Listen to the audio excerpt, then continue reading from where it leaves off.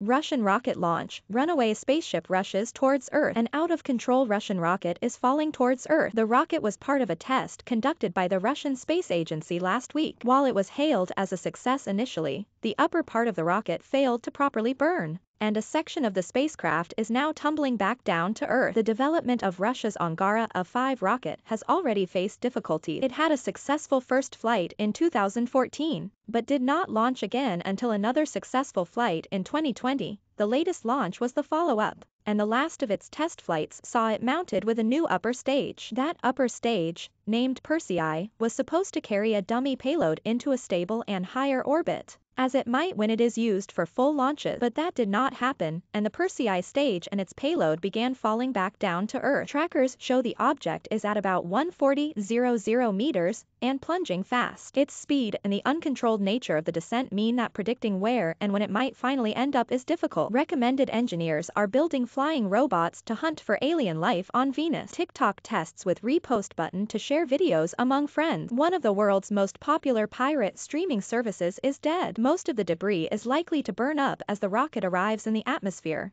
and any pieces will probably be small enough to avoid any major damage. But it is yet another example of dangerous space debris falling back down to Earth. After a closely tracked Chinese rocket made the same journey last year, and amid numerous warnings from experts about the impact of uncontrolled pieces of spacecraft. Like that Chinese rocket, the Long March 5B, the Russian spacecraft is thought to weigh about 20 tons but much of the mass of the new rocket is made up of propellant, which will burn up in the atmosphere, making any potential damage less likely. China's rocket eventually fell into the Indian Ocean after a widely tracked descent back down to Earth.